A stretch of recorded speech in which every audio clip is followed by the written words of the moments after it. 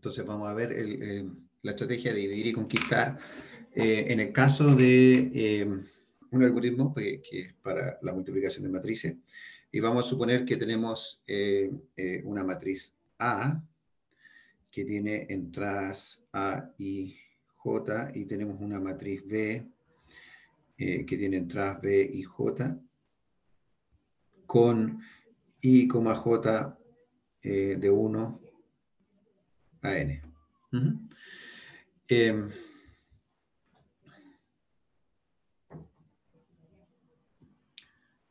sí. Entonces, eh, la salida, entonces sería entonces la entrada. La entrada sería en A y B, y la salida es eh, una matriz C eh, con entrada C y J y que corresponde al producto en ese orden de A por B. A por B. Mm, y, si uno va a un libro de álgebra y busca la multiplicación de matrices, se encuentra que eh, cada entrada C J es, eh, la sumatoria de K igual 1 a N de la entrada A y K por B, K, J. Nuevamente con I J de 1 a N. Eh, si uno eh, dice, bueno, esto es lo que hay que hacer, eh, el algoritmo estándar, que aparece en todos los libros de álgebra, cuyo, por supuesto, cuya motivación no es la eficiencia algorítmica, tienen el siguiente procedimiento.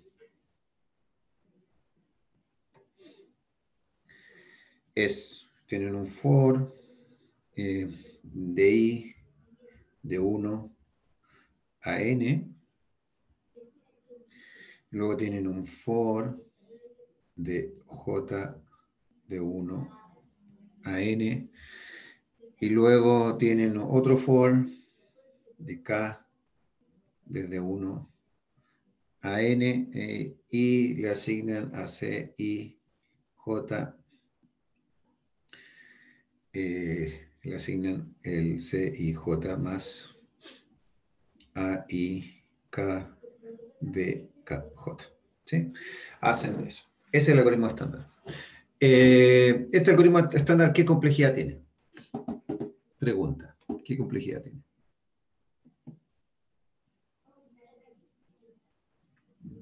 En el cubo.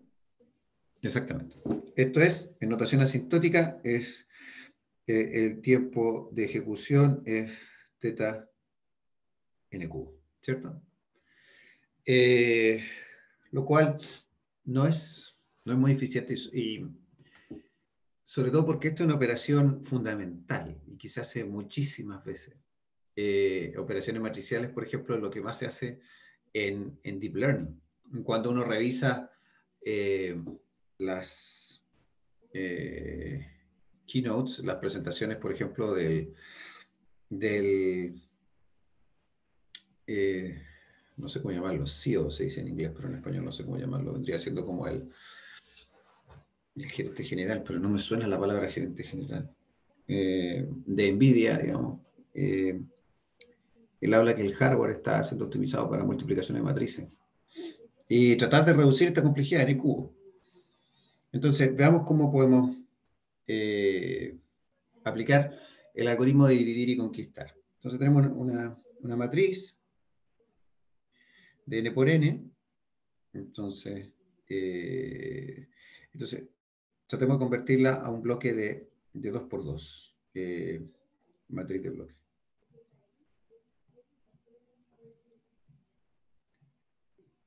Es decir, vamos a tener una matriz que son bloques R, S, T, U. Así es un bloque que es eh, el resultado, esta sería nuestra matriz C, de A, B, C, D, la matriz, eh, esto sería la matriz A, y esto por otro lado sería E, F, G y H, la matriz eh, B. ¿Sí? Entonces, si uno empieza a desarrollar esta idea, eh, nos crea que cada bloque de C corresponde a los siguientes productos.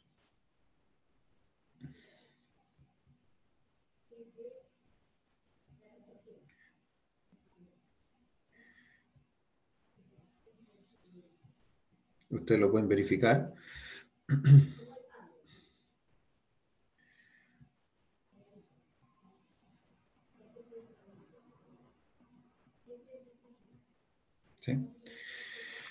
¿Y, cuál es la idea? O sea, dividir y aplicar esto recursivamente. Eh, tenemos, eh, si contamos, tenemos un producto, dos, tres, cuatro, cinco, seis, siete, ocho, ¿cierto? Es decir, tenemos ocho productos.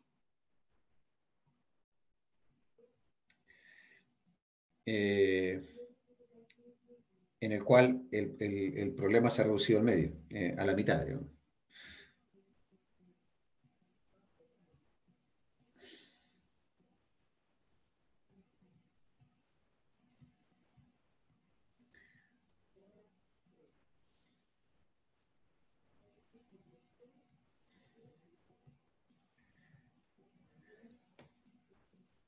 Y luego tenemos, eh, vamos a hacer otro color tenemos aquí las sumas. Una, dos, tres, cuatro sumas.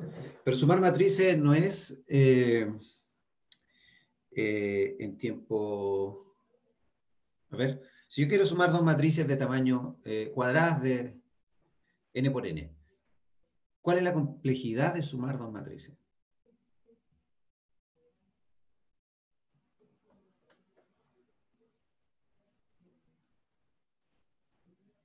¿Se acuerdan cómo se suman las matrices, verdad?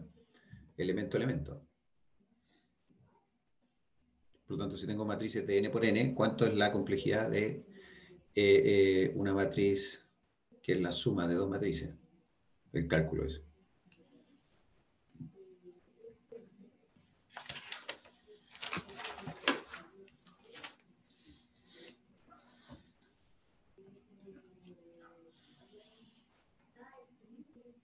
¿Nadie se atreve a decirme, aventurar una, un número? ¿Una complejidad?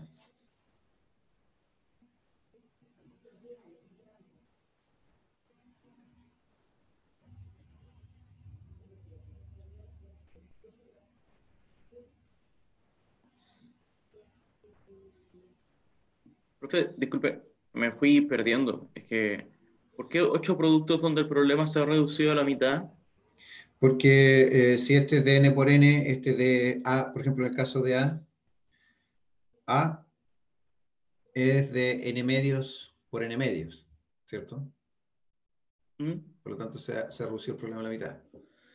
En ese sentido. ¿Sí? Eh, porque tengo matrices tengo ocho productos de matrices de n medios por n medios. ¿Sí? Entonces, la pregunta es si, pero tengo cuatro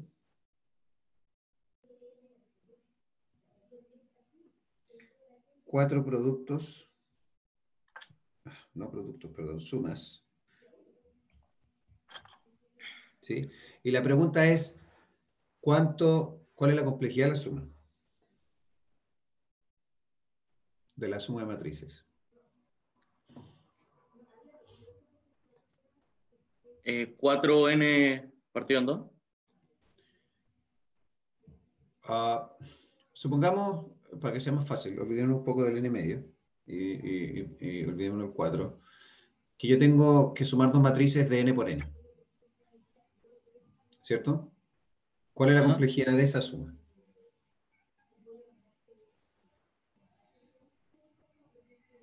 Eh, n cuadrado. Sí, exactamente.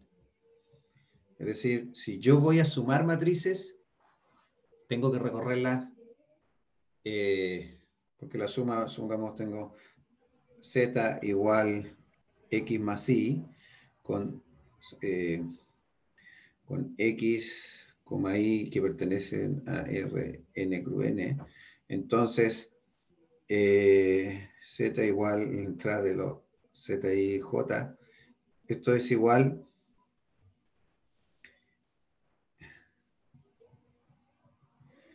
eh, esto es eh, J más eh, I y J, ¿cierto? Entonces, por lo tanto, esto tiene, implica que el tiempo de complejidad de la suma es teta n cuadrado. ¿Cierto? Entonces, ¿qué tenemos? Tenemos, por lo tanto,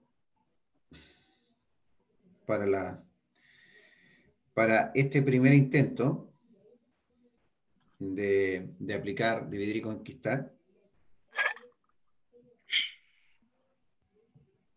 Hay alguien que tiene el micrófono encendido y está tomando té, se nota ahí la taza.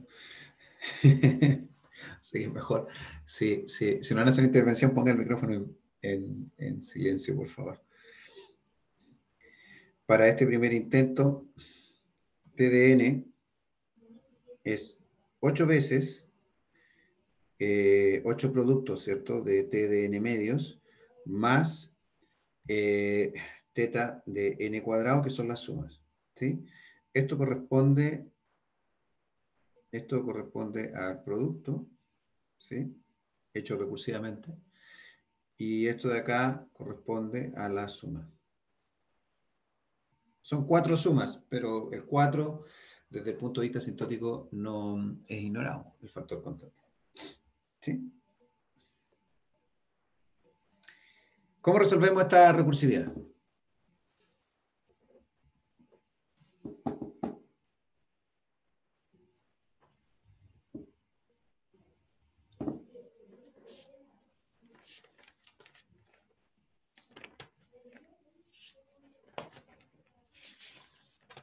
¿Mm? ¿Sugerencia?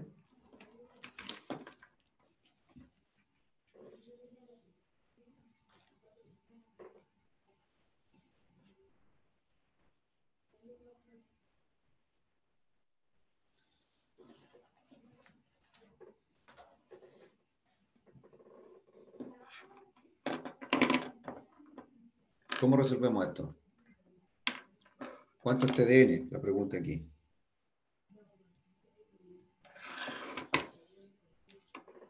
¿Qué estrategia si ustedes se han enfrentado a este problema? ¿Cómo lo resuelven?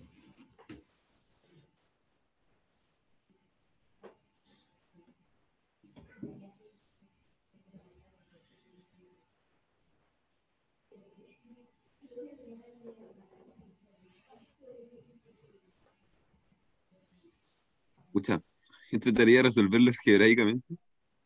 ¿Cómo algebraicamente? Como tratar de escribir el 8 TDN medios, de, de alguna forma dejarlo como TDN y después despejarlo? Mm. Mm, mm.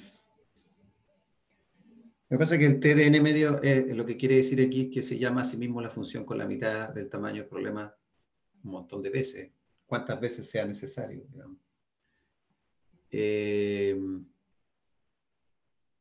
Por lo tanto, no es tan simple. Es lo que vimos en la clase pasada. Lo hemos estado viendo en las últimas dos clases, cómo resolver este, tipo de problemas. Digamos, no le estoy pidiendo que se pongan creativos.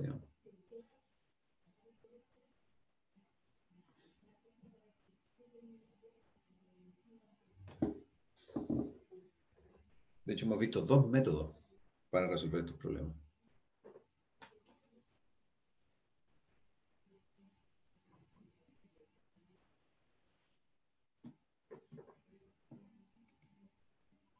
Ah, Vicente dice el método maestro. Sí, el método maestro es el que yo aplicaría. ¿Por qué? Porque el método maestro, si ustedes eh, recuerdan, veamos dónde está. Mm, ¿Dónde está esto? En alguna parte lo vimos. Eh, tal vez búsqueda binaria.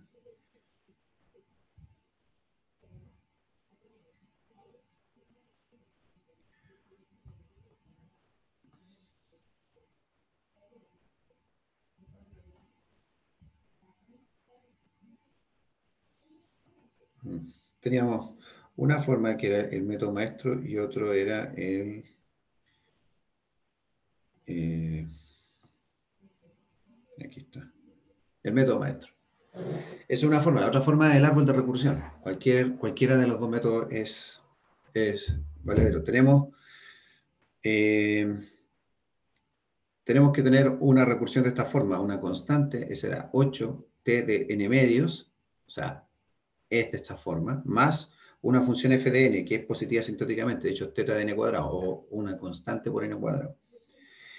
Y, y lo que tenemos que ver es si f de n es, eh, es esto, el logaritmo en base b de a.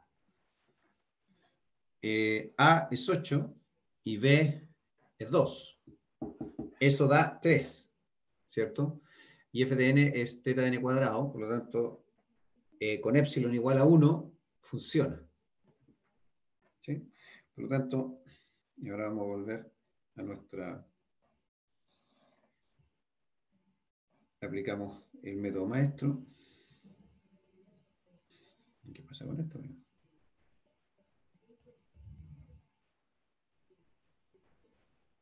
Se puede hacer por el árbol de recursión, pero va a tomar más tiempo.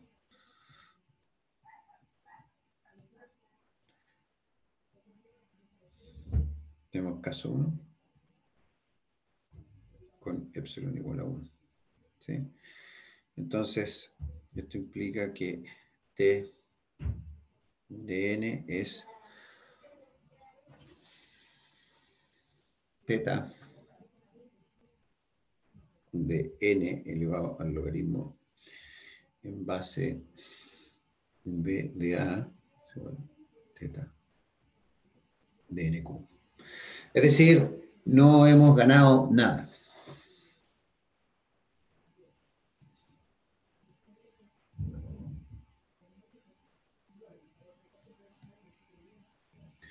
No hemos ganado nada porque eh, el problema si bien lo dividimos en ocho, en ocho productos y cuatro sumas, eh, sigue siendo de la misma complejidad y es más, entre este algoritmo, utilizando dividir y conquistar, que se llama recursivamente, y este el algoritmo estándar, yo me quedo con el estándar. Primero, porque es muchísimo más simple y funciona bien. Y, segundo, es porque este, eh, si bien es cierto, tiene la complejidad n cubo, el otro también, este método tiene eh, la, la, bondad de que no ocupa mucho espacio en memoria. A diferencia de las llamadas recursivas, que todas las llamadas recursivas tienen que quedar en memoria, por lo tanto son menos eficientes desde ese punto de vista. Así que esto no hemos ganado nada y o sea, llegar y aplicar, dividir y conquistar no, no siempre es la solución. Pero sí hay una forma de aplicar, eh, dividir y conquistar em, de una forma más, eh, más inteligente y es lo que se llama el algoritmo de Strassen.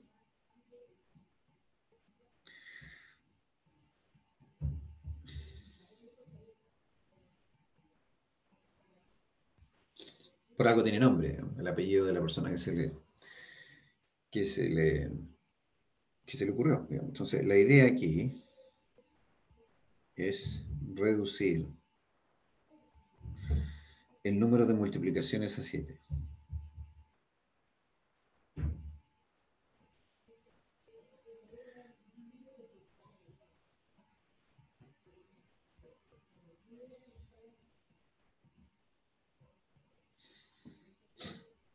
Entonces, Aquí eh, la, estrategia es que hay estas matrices P1, que es A, factor de F menos H, eh, P2, que es A más B, factor de H. ¿Y cuántas son? Son 7. P3, que es C más D, factor de P4,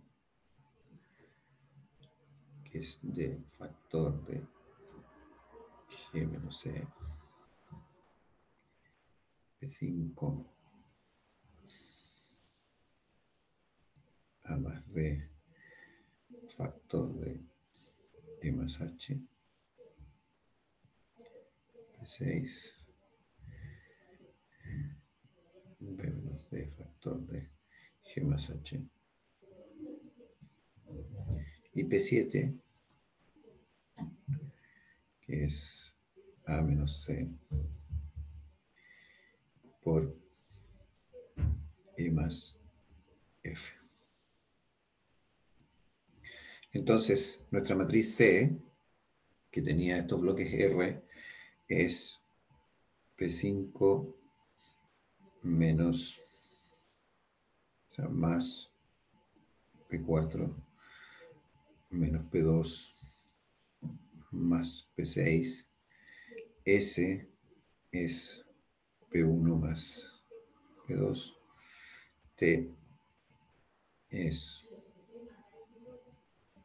P3 más P4.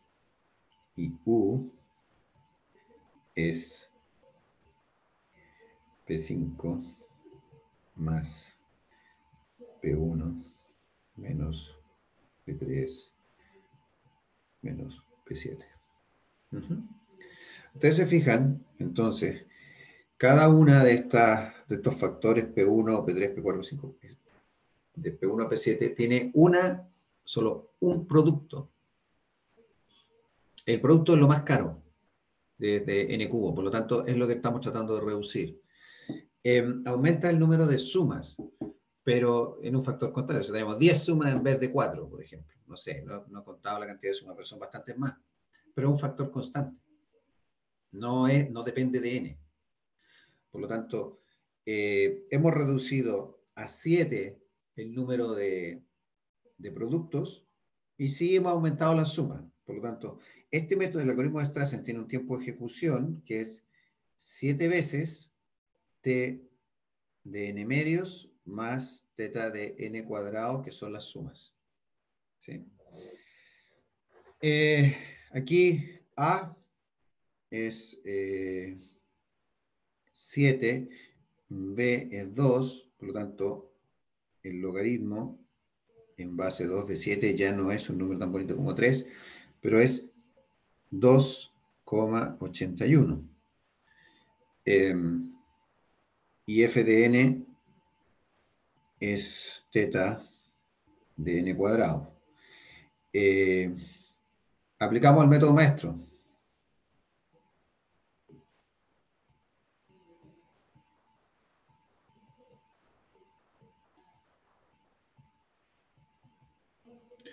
Aplicando el método maestro, em, tenemos, ¿qué caso es? Hay, tres casos, ¿se acuerdan? El caso 1 Este sigue siendo el caso 1, sí.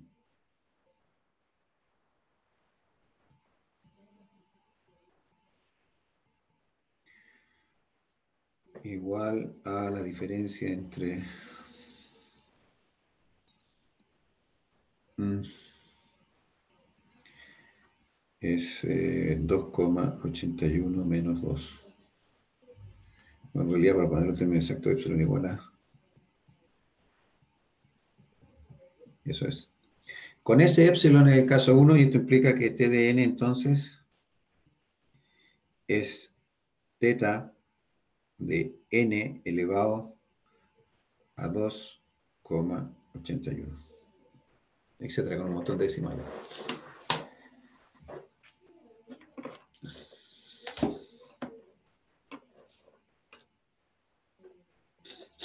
Entonces, eh, ¿El algoritmo qué, en qué consiste?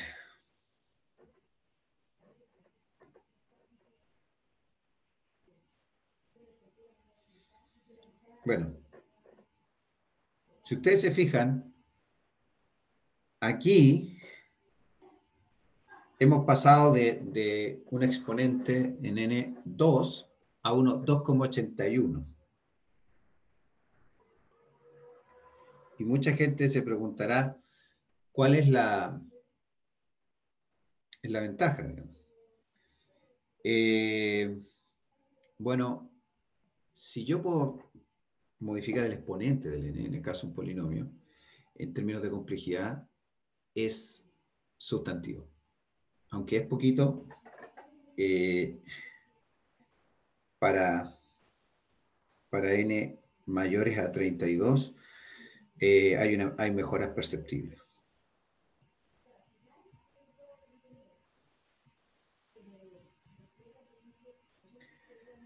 De hecho, teóricamente, desconozco si hay algún algoritmo que lo pueda hacer, pero teóricamente eh, el óptimo para multiplicación de matrices es O de n a la 2.2,376. Eso es teórico. No sé si existe. Muchas veces se demuestran estos límites teóricos pero no se encuentra el algoritmo que es capaz de, llegar a ese óptimo teórico. Pero de todas maneras, hasta, hasta donde sabemos, no se puede eh, multiplicar matrices con una eficiencia mejor que algo pasó aquí. Mejor que la que está eh, O elevado a 2,37.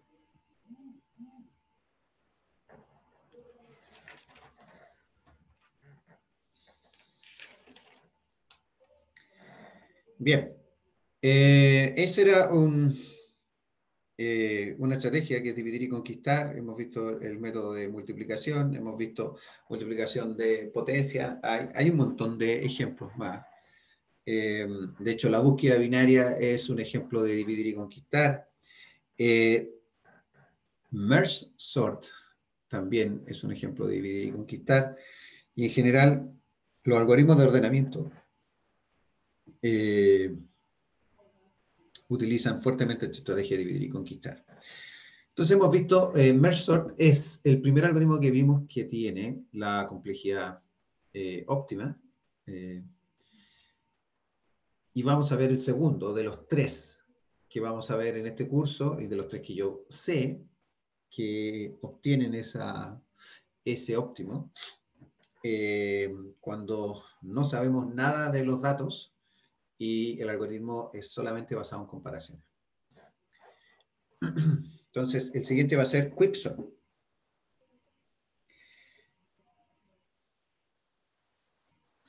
Y eh, pongan atención aquí. A ver.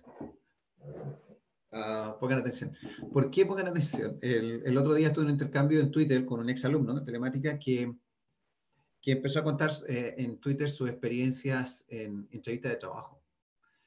Y, contó que le preguntaron que explicara Quicksort. Y le preguntaron además qué complejidad tiene. Eh, debo decir que él no fue alumno mío en, este curso, pero él no se acordaba de la complejidad de Quicksort. Y, yo espero que ustedes se acuerden, digamos.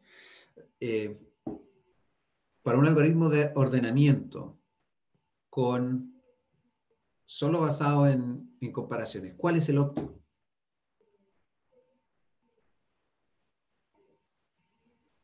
En complejidad asintótica, en notación asintótica del tiempo, la complejidad algorítmica. ¿Cuál es el óptimo? Cuando están ordenados los números. Sí, eso es el resultado. Pero hay distintas maneras de llegar a ese resultado. Eh, puedo llegar en tiempo n cuadrado, en tiempos peores, ¿cierto? Lo que a mí se me ocurre hacer dos for, eh, el algoritmo intuitivo, ese algoritmo tiene un tiempo de complejidad n cuadrado. Pero ¿cuál es el óptimo? Ya lo vimos con Versor. ¿Se acuerdan? Revisen sus apuntes, si es que toman apuntes, tal vez no toman apuntes, pero... ¿Cuál es el tiempo de complejidad de óptimo?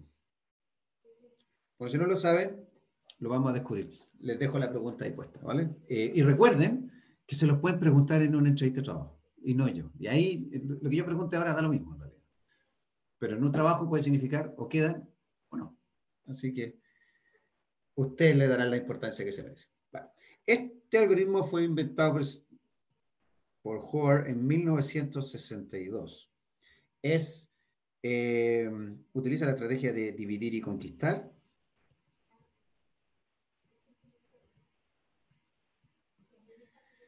Eh, ordena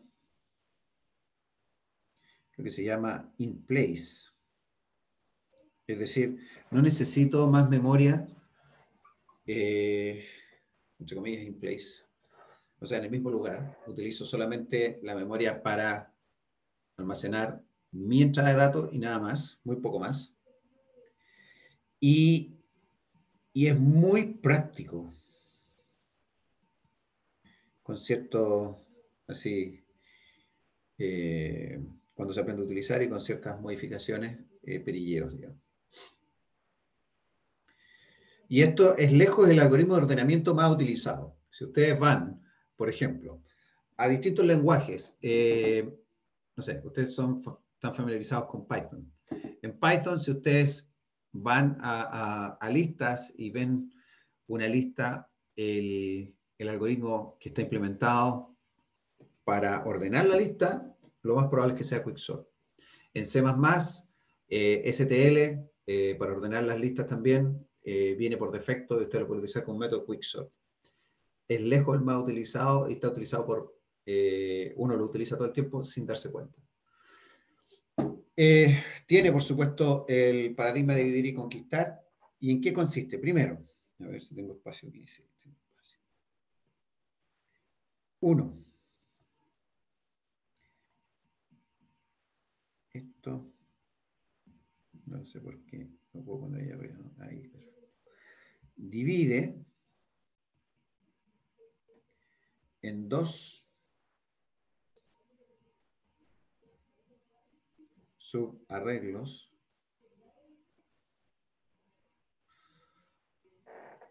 esto no ya acento fue una, una, palabra grave termina en ese, me equivoqué. Dos arreglos eh, de un alrededor. De un pivote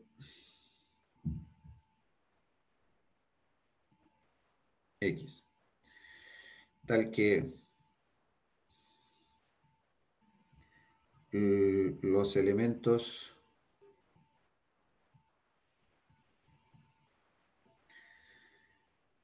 en el subarreglo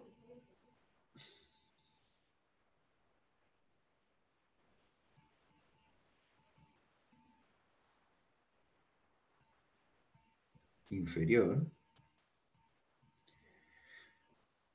son menores a x.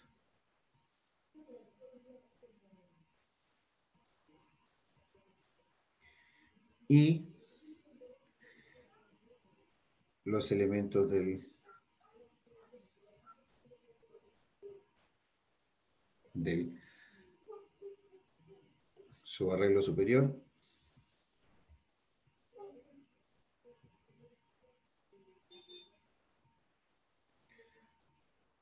son mayores a X. ¿Sí?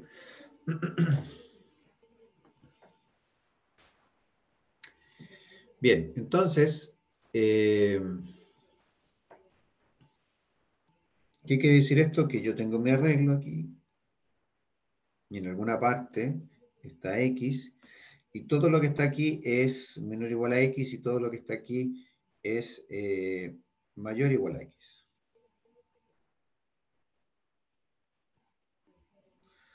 ¿Sí? Dos. Conquistar.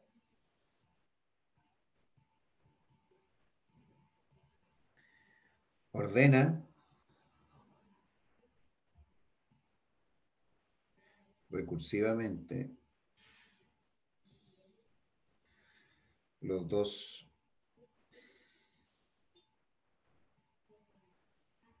subarreglos. Y tres, combinar es trivial.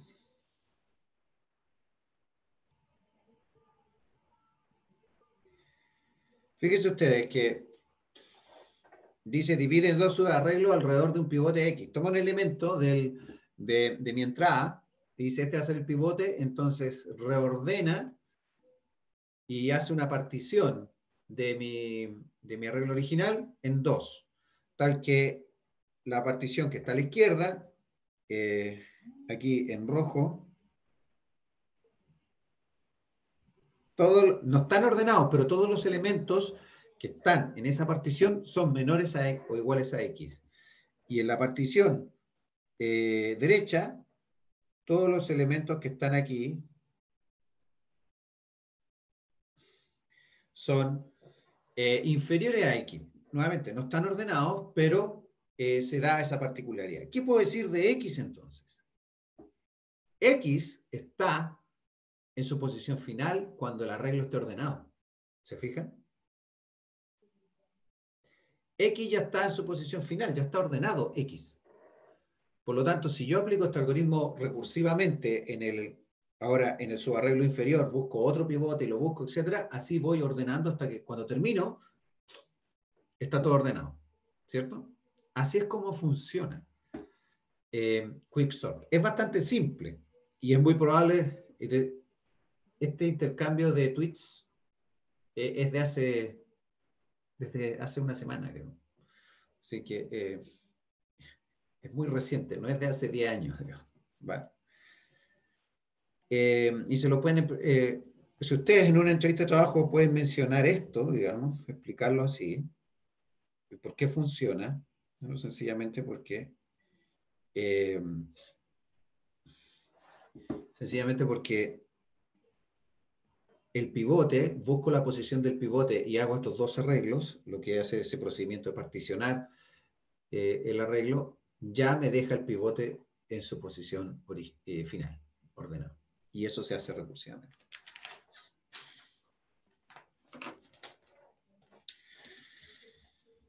Entonces, aquí, claramente, eh, ordenar recursivamente, eso, eso lo podemos hacer, se llama a sí mismo, etc. La, la parte que es más inspirada aquí es el algoritmo para hacer esta partición que aquí aparece.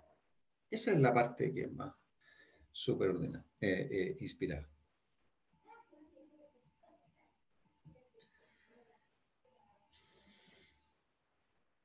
Entonces, aquí eh, su rutina de partición. Le voy a llamar partition. Va a tomar el arreglo A y va a tomar un subíndice P y un R. Es decir, esto lo que estoy diciendo es que A va desde P hasta R. ¿sí? Entonces a X le asigna A de R. Es decir, que el pivote es ADR. Ahí asigna P menos 1. Entonces, ahora iteramos for J que va desde P a R-1 if Werner, ¿sí? entonces el mejor caso sería cuando el X está justo al medio de todos los datos, ¿no? Exactamente, eso sería maravilloso. Eso, eso, de hecho, es algo que vamos a ver adelante. Tu observación es, es muy lúcida, porque si está en la mitad, quiere decir que estamos dividiendo el problema exactamente en dos. Y podemos tener la mala suerte que no esté en la mitad que esté justo al principio, cuyo caso no nos funciona. Vamos a ver esos ejemplos y cómo podemos eh, reducir la, eh, la, posibilidad de obtener el peor caso. ¿Vale? Muy buena pregunta. No sé si entendieron la pregunta de, no sé quién fue el que habló. Nicolás. Nicolás. Nicolás dijo, el ideal sería que X esté en el medio, porque X es un elemento cualquiera, un valor cualquiera, entonces, de tal manera que el pivote quedara en el medio, digamos. ¿Cierto? Ese sería el ideal. Pero eh, eso no va a ocurrir siempre. ¿Cierto? Si el ideal que queda en el medio, quiere decir de que estamos separando en n medios y en n medios. Nuestro problema. ¿Sí? Entonces, si A de J es menor o igual a X, vamos a ir con esta partición. Entonces, a I le asigna i más 1 y hace un intercambio, exchange ahí con AJ y luego hace un exchange A de I más 1 con ADR y retorna return I más 1. ¿Sí? Esto es la partición. Y aquí eh, sería interesante poder tener la pantalla dividida. Pero no sé cómo hacer eso. Mm, ¿Se podrá hacer esto?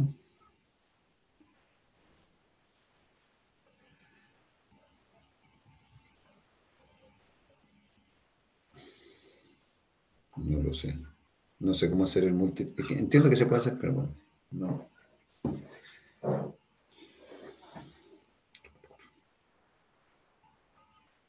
Ya. Bueno, vamos yendo eh, poco a poco. Veamos. eh, este, vamos a ver cómo funciona esto. Eh, vamos a hacer el siguiente ejemplo.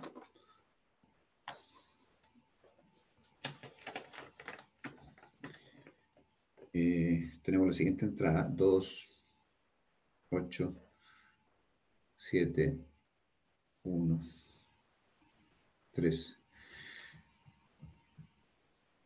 5, 6, 4. ¿Sí? Eh, esa entrada aquí. Si vemos, lo primero que es ADR, es decir, el, el que está al final aquí. ¿Sí? Entonces, el pivote va a ser 4. ¿Sí? Ya, ya. Parte esto, ya marqué el pivote, y ahí es P menos 1. Entonces, I es 0.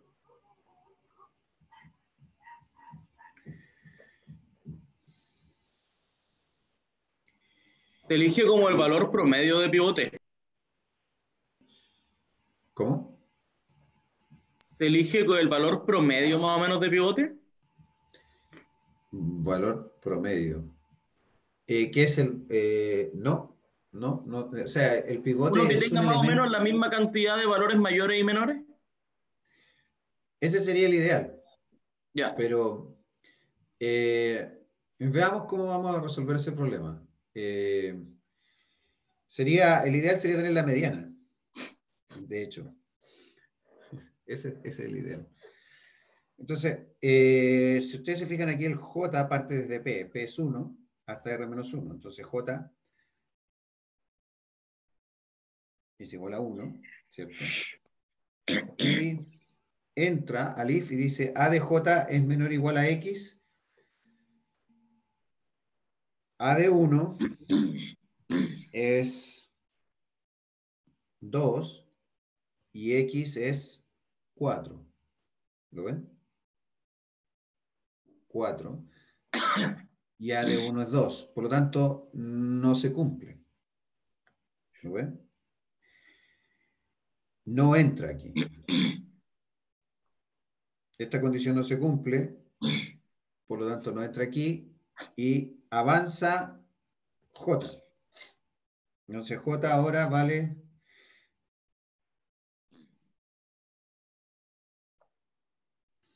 J vale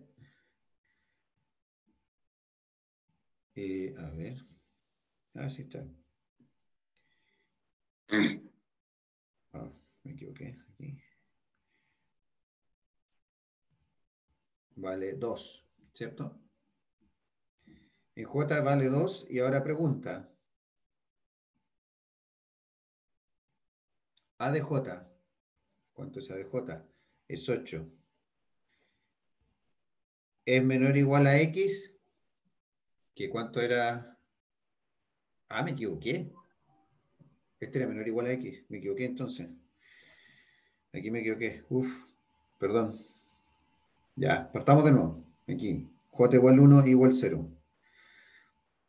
A de J es 2. ¿Es menor o igual a X? Sí se cumple. Porque X es 4 y A de J es 2. Es menor o igual. Se cumple. Entra. Por lo tanto, aquí al entrar, I ahora es 1. ¿Sí? Y intercambia A de I con A de J. A, I y J valen lo mismo, por lo tanto, el intercambio no hace nada. ¿Sí? Y avanza al siguiente. Ahora J vale 2.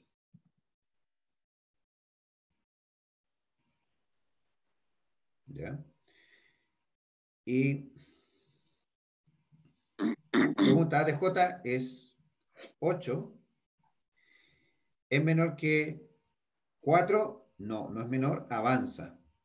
J ahora vale 3. 7 es menor que 4? No, avanza. J igual a 4. 1 es menor que 4, sí. y al ser menor que 4, primero incrementa y ahora vale 2. ¿Cierto? Y hace un intercambio de A de I con A de J. Es decir, esto que está aquí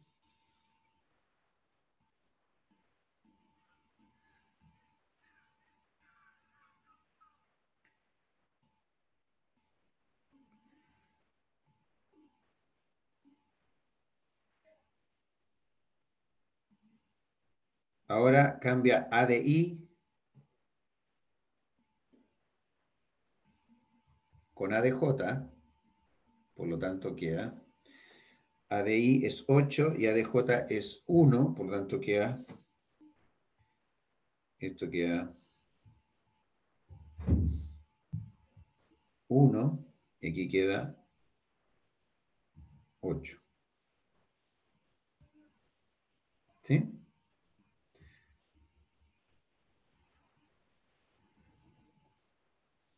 Entonces a marcar aquí con otro color,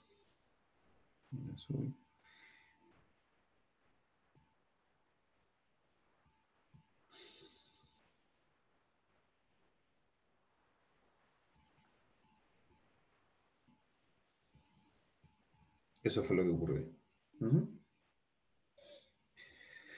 Seguimos entonces. Y es 2. Y ahora eh, J, aumenta J en el for. Si era 4, ahora J es igual a 5. Y pregunta, A de, A de, eh, de 5, que es 3, ¿es menor que 4? Sí, es menor que 4. Eso significa que I es igual a 3 ahora e intercambia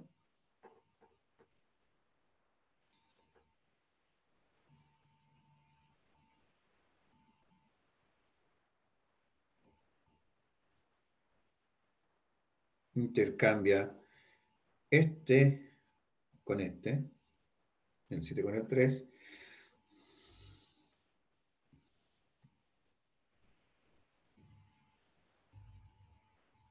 y nos queda hace el intercambio.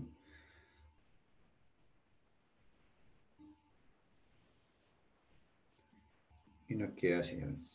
Borramos este, borramos este. Aquí queda el, el 3. Y aquí queda el 7. ¿Sí? Seguimos.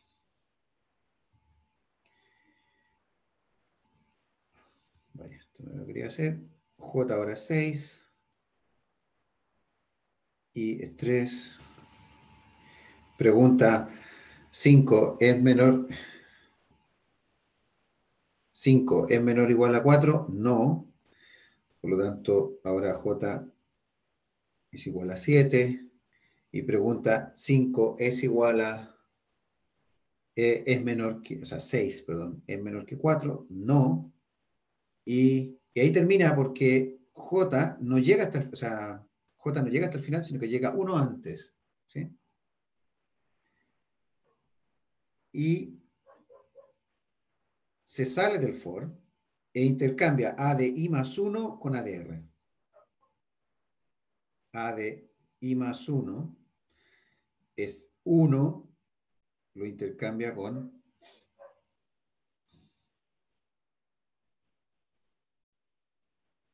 Algo pasó aquí con el 1. Ah. Aquí me equivoqué, perdón. Este, este cambio no lo copié, lo siento. Fíjense ustedes aquí que me había equivocado. Este, aquí está el 1. Y aquí está el 8. Ahí me he equivocado, perdón. Por eso me, se me estaba cayendo a pedazos esta cuestión. Eh, lo que hace esto ahora es intercambiar. No voy a copiar este último. Tenía uno muy antiguo copiado. Ya, pegado.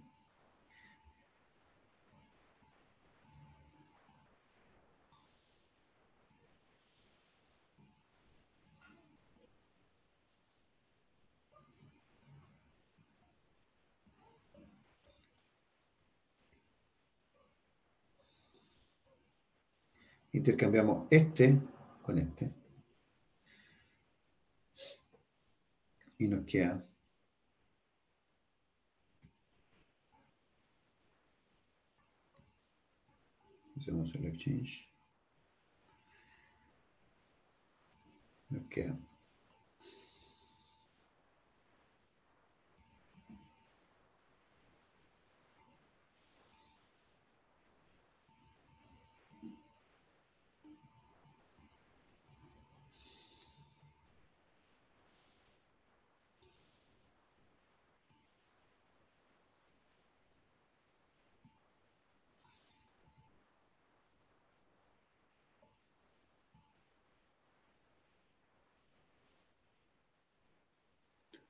Nos queda Nos queda 4, que es el pivote. Ustedes se fijan que a la izquierda todos los números son menores que, que 4 y a la derecha todos los números son mayores que 4. Es decir, funciona eh, como lo queremos y la pregunta es, eh, ¿cuál es el tiempo de ejecución de esto?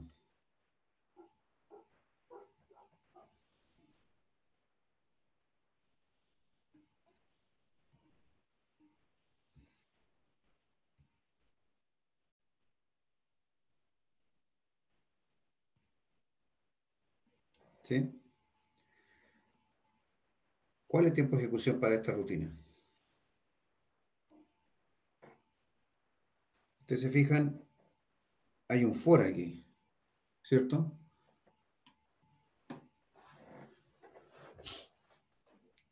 Para nosotros estimar el tiempo de ejecución, ¿qué es lo primero que tenemos que saber?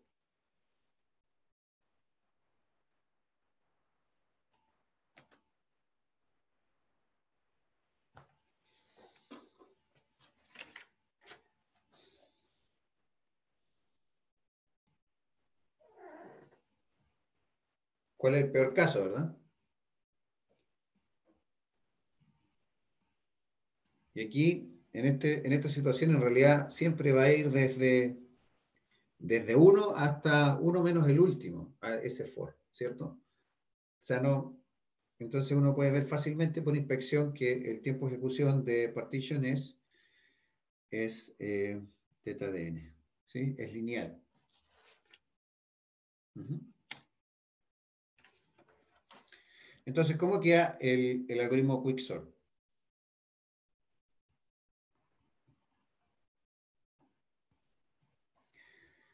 Toma A, PR, no se dice si if. P menos que R, a Q, le asigna partition A, P, R, y luego ejecuta quicksort recursivamente en A, P, Q menos 1 y quick sort en A, Q más 1 R. La llamada inicial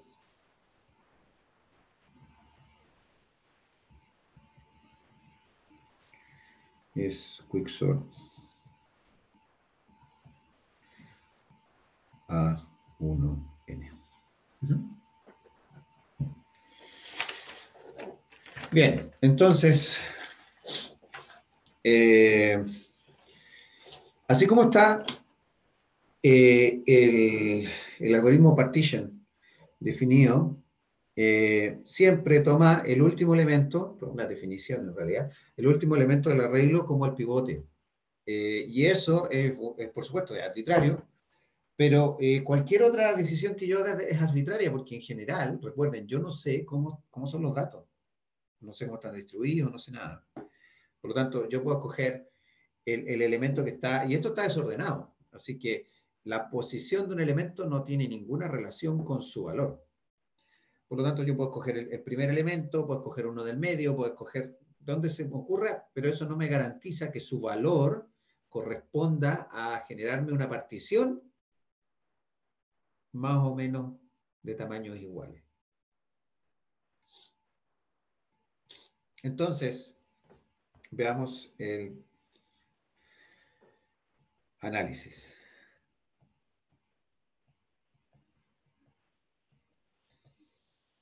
Entonces tenemos que eh, el peor caso. Primero, eh, suponemos que todos los elementos son diferentes.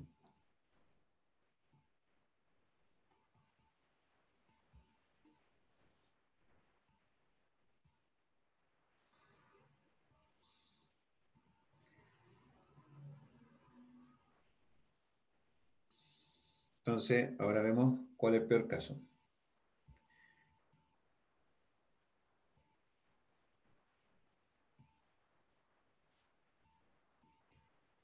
¿Cuál es el peor caso?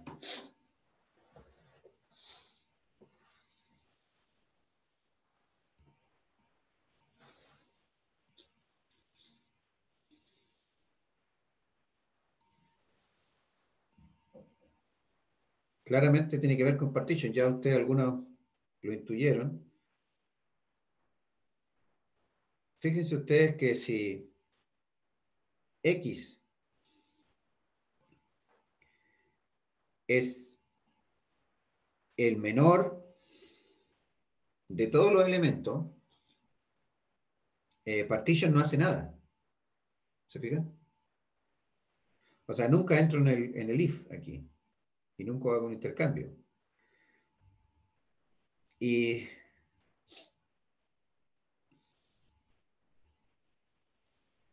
y lo único que hace es mover el pivote que está al final al principio, y eso es todo.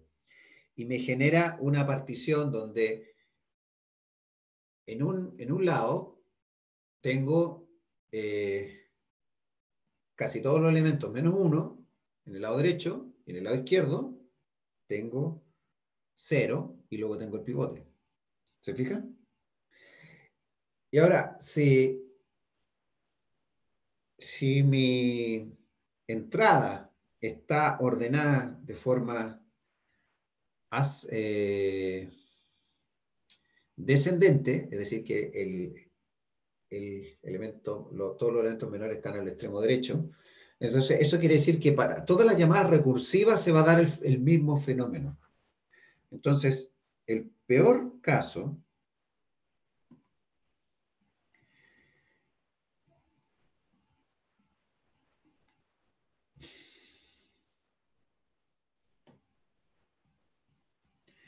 es cuando eh, la entrada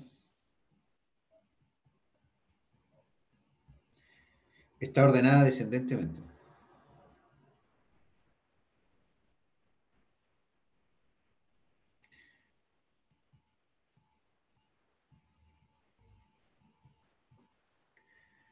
Entonces, esto implica que un lado, o sea, no una de las particiones,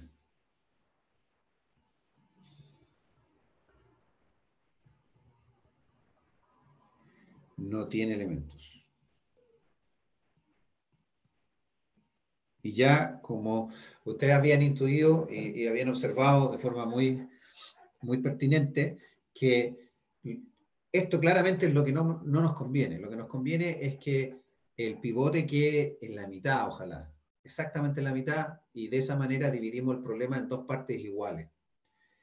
Eh, pero veamos el caso, este caso. Entonces, vamos a tener que el tiempo de ejecución es el tiempo para uno que con cero elementos, eh, para otra partición con n-1 elementos y, y, y, el algoritmo de partición que tiene un tiempo lineal. ¿sí? Eh, T de 0 es un tiempo constante. Esto es T de n-1 y esto es teta de n. ¿sí? En notación asintótica esto es, despreciamos el, el tiempo constante.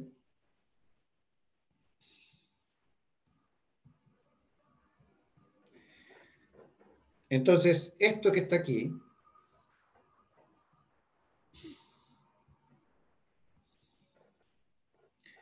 esta eh, recursión de tiempo de ejecución, tampoco TDN, es, eh, no la podemos hacer por el, por el eh, árbol binario. O sea, perdón, por el método maestro, porque no es del tipo del método maestro. Esta, eh, lo podemos hacer por el árbol de recursividad. Entonces, eh, aplicamos árbol de recursividad.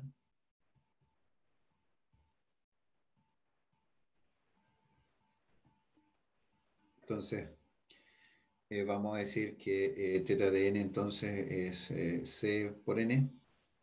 Y esto nos queda que t de n es una constante por n más una constante, eh, perdón, la primera vez, t de n menos 1.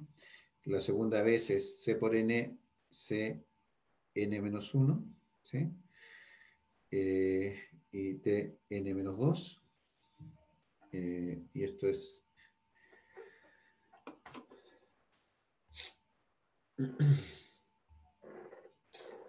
eh,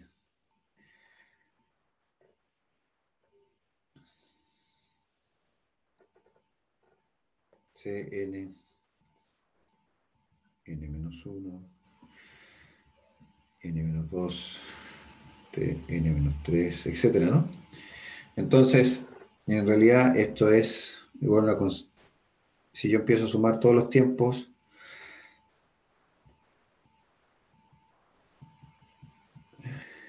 es C por la sumatoria de I igual 1 a N de I, ¿cierto? Eh, esto es, esto de aquí es teta de N cuadrado, ¿cierto? Una eh, serie aritmética. Entonces, implica que T de N es O de N cuadrado, o teta de n cuadrado, como he dicho. ¿Se ve?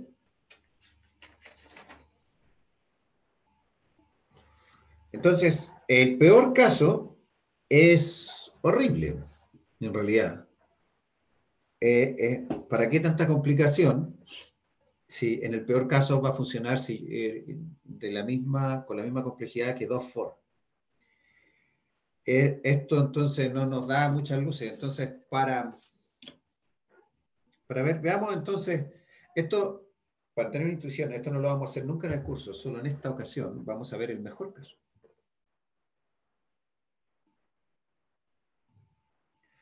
Que es solo para, la, eh, eh, para una intuición, digamos. Porque ustedes saben que el mejor caso es mentiroso y no le podemos creer. Entonces, eh, vamos a suponer que tenemos mucha suerte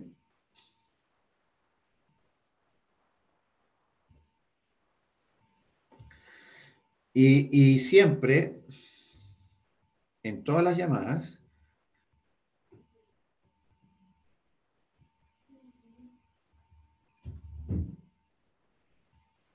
Eh, la partición se hace en partes iguales.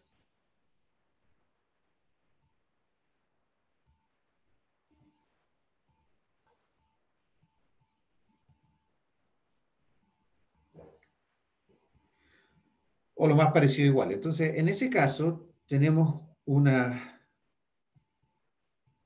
recursión de esta naturaleza, ¿cierto? Se divide siempre en partes iguales y esto, eh, ¿qué, ¿qué complejidad tiene? En el mejor caso.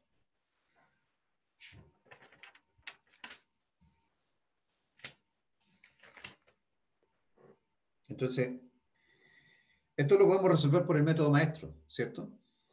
Entonces tenemos que eh, el logaritmo en base 2 de 2 es 1, ¿cierto? Eh, por lo tanto, eh, e y f de n es teta de n. Esto es el caso 2 con k igual 1, a 0, perdón. Entonces, t de n es si revisar mis apuntes.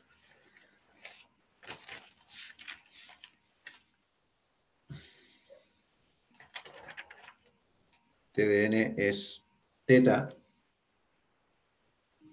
n log n. Eh, que es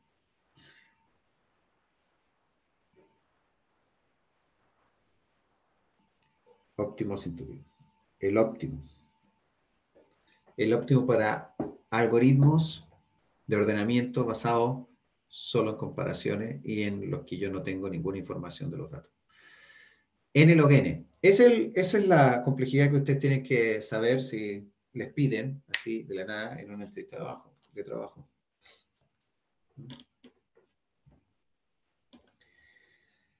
Que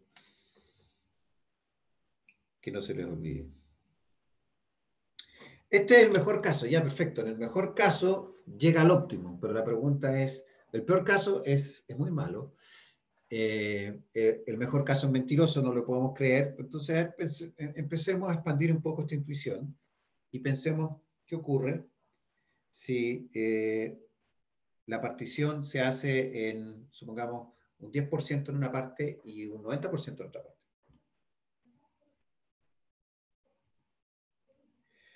Eh, eso es bastante particular, pero podemos ver que, que, siempre una, eh, la mayor parte de los elementos están concentrados en una de las dos particiones.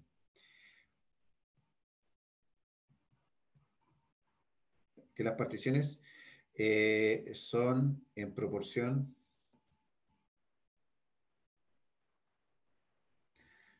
un décimo y, nueve décimos, ¿cierto? Entonces, si es así, tenemos que nuestro TDN va a ser eh, T de n décimos más T de 9 n décimos más teta n. ¿sí? Eh, en ese caso, también, extremadamente particular, donde en todas las llamadas recursivas nuestra partición se reparte 90% de los datos en una parte y, 10% en otra, eh, esta es la, la llamada recursividad para para nuestro eh, algoritmo Quicksort. Entonces, esto lo podemos resolver solamente con el árbol de recursividad. Entonces, esto vamos a decir que ah, esto es un C por N. Entonces, vamos a decir que T de N es Cn y por un lado tenemos T de N décimos y por el otro lado T de 9 N décimos. ¿Sí? Eh, si desarrollamos más esta idea, C nos queda C n décimos, C 9 n décimos, y aquí eh, T de n sobre 100, ¿sí? y T de 9n sobre 100, acá T de eh, de 9 sobre 100. Y acá T de 81N sobre 100.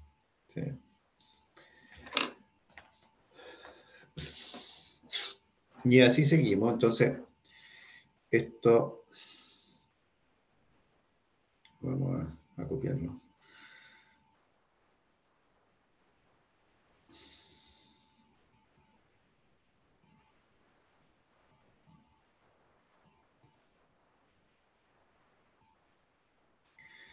Si esto lo seguimos eh, desarrollando, vamos aquí.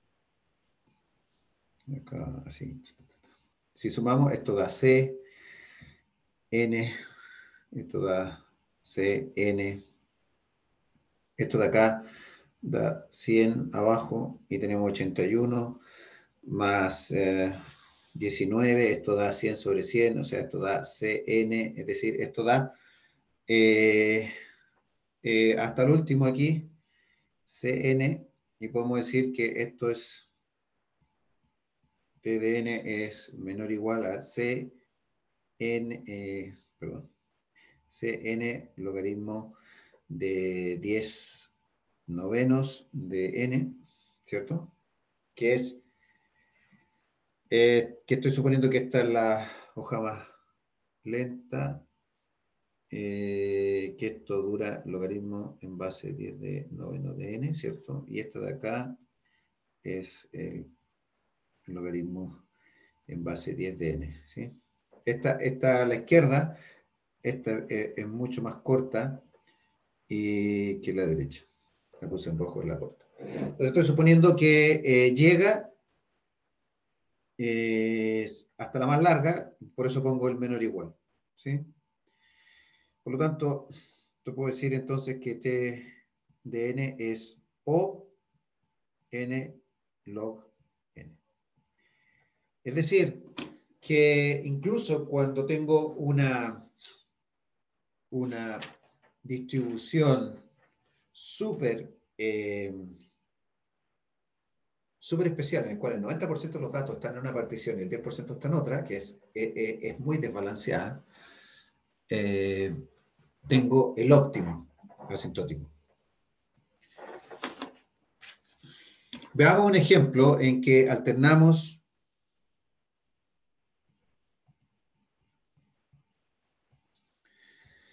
Suerte y mala suerte.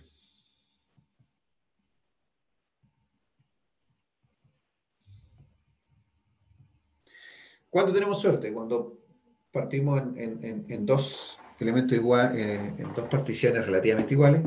Y, cuando tenemos mala suerte es cuando una de esas particiones no tiene ningún eh, elemento.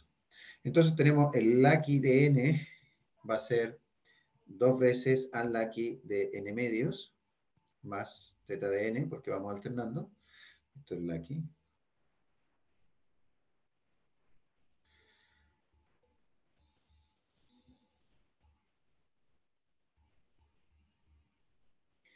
Tenemos unlucky es L de n menos 1, porque una, una de ellas tiene cero. Entonces, mala suerte.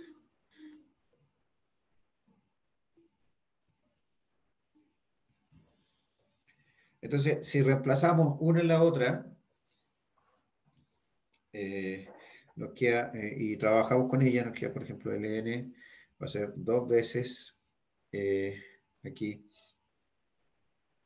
l n medio menos 1 eh, más eh, teta de n medios, eh, más teta de n, ¿cierto? Lo cual, trabajando esto un poquito, nos da que L de n es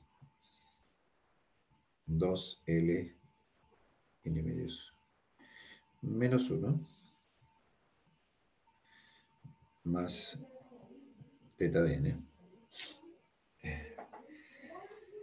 Y esto en realidad, esto se traduce a 2 ln medios más teta de n, porque el menos 1 no influye en notación asintótica, es ignorado.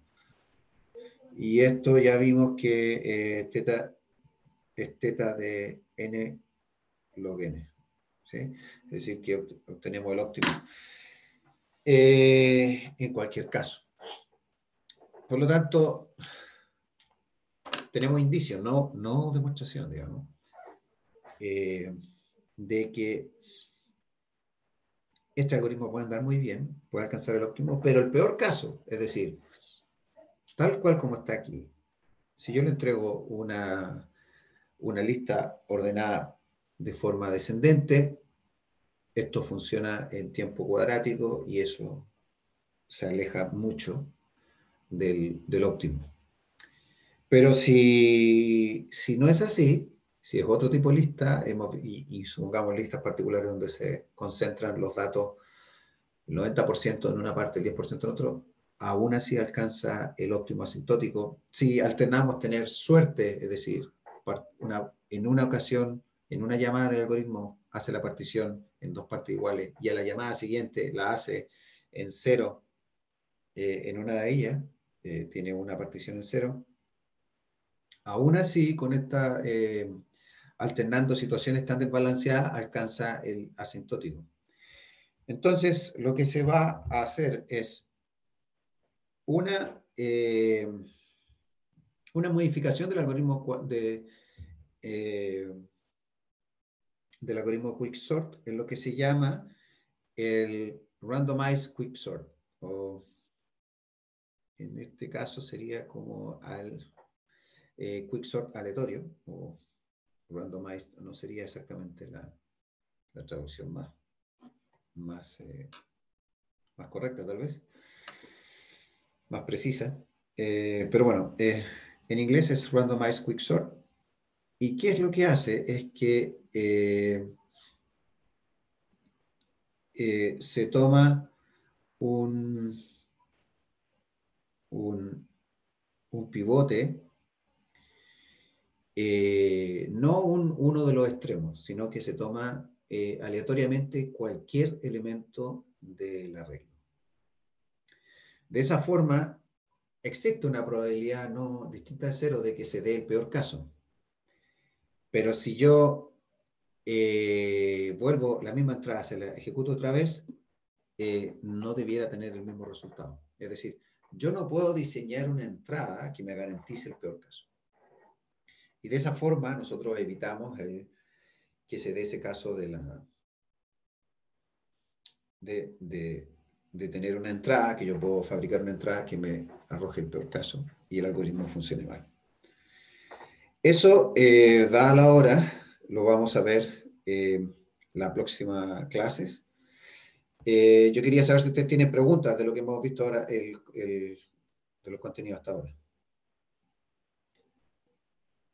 ¿Se entiende cómo opera partition, quicksort, etcétera?